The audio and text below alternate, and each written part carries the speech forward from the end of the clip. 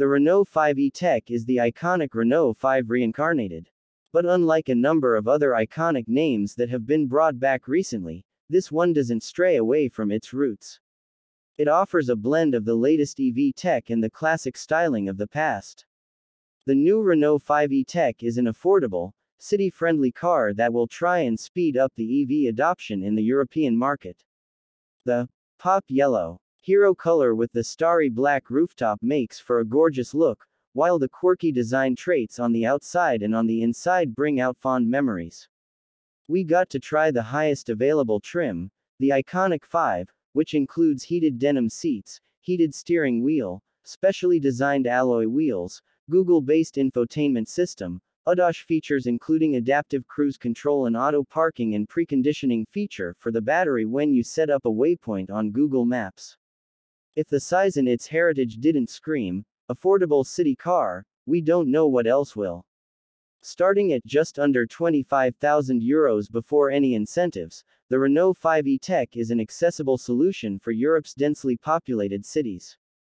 People who feel nostalgic enough of the good old times of the original Renault 5 should certainly give the new all-electric version a consideration.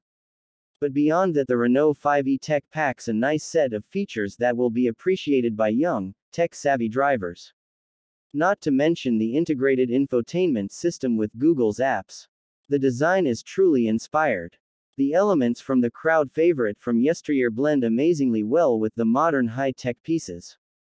While the budget didn't allow for the finest Nappa leather or exotic wood trims all the elements are finished creatively and the build quality is higher than you'd expect in a budget car. The value for money is certainly there as well. The entry-level 5 trim goes for 25,000 euros, while the top-tier iconic 5 is asking 32,900 euros. Not many vehicles in this class boast full ADAS packages with parking assist, active driver assist and intelligent adaptive cruise control.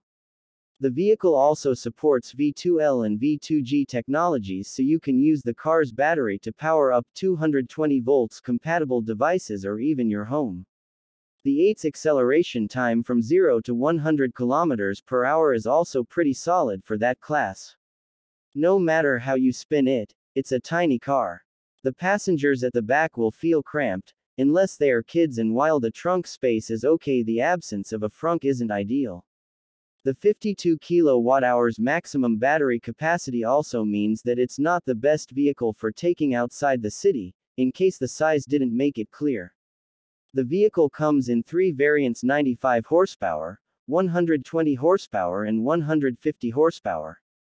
The first two variants are yet to go on sale, they will have a smaller 40 kWh battery with just 300 km as per WLTP. The 150 horsepower option with the 52 kWh battery is the only one available right now and it gets you to 400 km. It's also the only one you should really consider.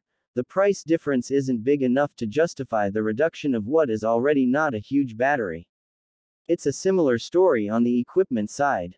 The highest iconic 5 trim is just 2000 euros over the base one, but brings a lot. An M2 cable for home charging, battery preconditioning feature, V2L connector, full ADAS package with auto parking and a two-tone color option of your choosing are well worth the cost. In short, if you are considering the Renault 5 E-Tech, we'd suggest go all in.